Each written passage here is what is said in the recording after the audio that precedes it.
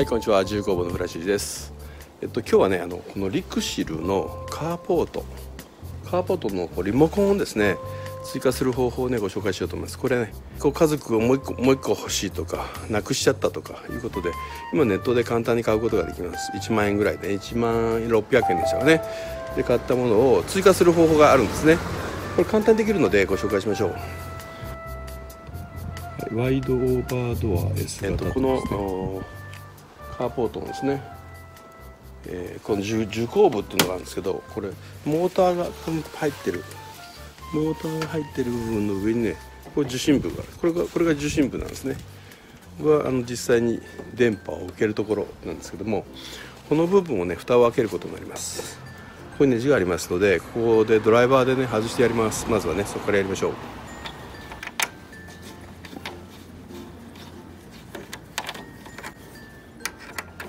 こんな風にね外してやります。はいこれがねあ緩むとこんな感じで外れるんですけどこれであの全部抜かないようにね注意が必要です。ここにね線でつながってます。こうこの部分ですね。この部分に線がつながってます、うん、これです。これ。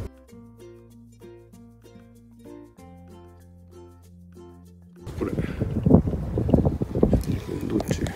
こう押すとですねドライバーかなんかで、ね、こう白いとこ押してあります押すとほら点滅になりましたね LED が LED が点滅したらはいこの新しく買ったこれのですねリモコンの停止ボタンですねこう止まるということこれをねずっと中押します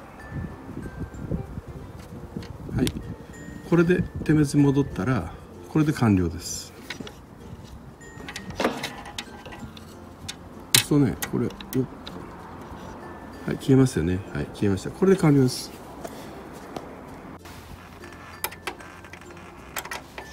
はいそしたらねまた元に戻していただいてちょっと片手でやってるので映りはいまいち良くないですけど。はい片手でやりました。要するにここがレーダーってことですね。レーダーっていうか受信するアンテナになってるんですね。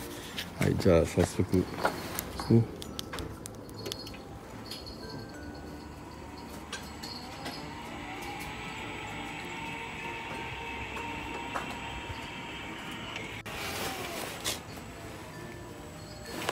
はいということで登録完了しました。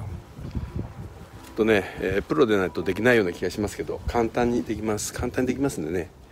えっと一度挑戦してみてください、えー、タイプはリクシルのオーバードア。リクシルのオーバードアですね。っていうものでしたら、えー、分かるようになってると思います。詳しくはね概要欄にリンクを貼っておきますのでご覧ください、えー、買うのも Amazon の中からもね買えるようになってますからそれも合わせてリンクをね貼っておきましょう。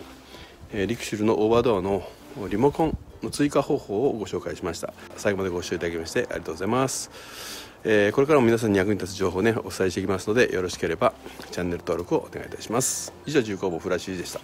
ゆうさんさよなら。最後までご視聴いただきありがとうございました。今回の動画がよろしければグッドボタンを。私に質問のある方はどんどんお寄せください。それでは次の動画でお会いしましょう。